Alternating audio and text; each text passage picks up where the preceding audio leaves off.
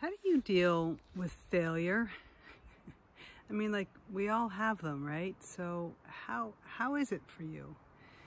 As a potter and a teacher of pottery, I um, have a saying that I just always come back to, which is really so simple. Pots break. Pots break. Does this mean uh, you don't put your heart and soul into it? No, you put your heart and soul into it and you make things that you love and you make them with love. And then you give them over to the kiln gods and um, you let go. You have to let go because sometimes they come out beautiful and sometimes not so much. And sometimes they break even before they get into the kiln.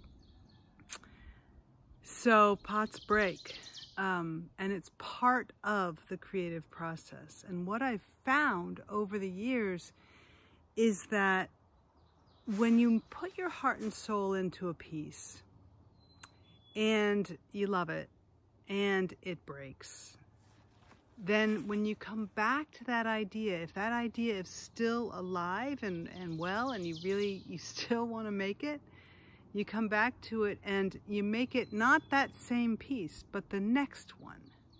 You make the next one. It turns out you've learned something in the process. You've learned something about how to make it even more interesting and beautiful and whatever. So pots break and it's part of the process. I recently had um, one of those catastrophes that is a serious failure um, my uh, loaded up a kiln with all sorts of stuff, sculpture, test tiles, pots, and my intern's work as well. And uh, it was a breezy day and I tried to fire it and at a certain point there was a pop. I heard it from the house. It was probably a lot louder if it was closer. And I went out to the kiln and indeed uh, it was really clear that there was a problem and I turned off the gas and I took a deep breath and walked away because you can't, you if there's gas still in the kiln, you got to walk away and come back later. So I did. And I came back and I cracked the door open and you'll see pictures of this on my blog. The first crack is like, oh, that's not good. And I opened it up later after it cooled a little bit. And um, yeah, there was a explosion, a big explosion. Like the kiln itself is damaged. I've got to repair the kiln uh, roof. And I've lost kiln, uh, not only pots and sculptures, but also kiln shelves that are very expensive. So anyway, big catastrophe in my book first time I've ever had the kiln explosion that I have talked to students about for years. Why did it happen? My mom asked, well, what happened? What, what, what happened? First thing I can come up with is user error.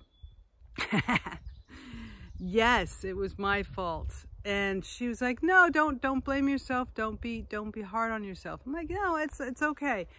Pots break and there's lessons there's lessons and I need to deal with the fact that it was my fault. I need to take responsibility for it, but not to beat myself up, but rather so that I can learn.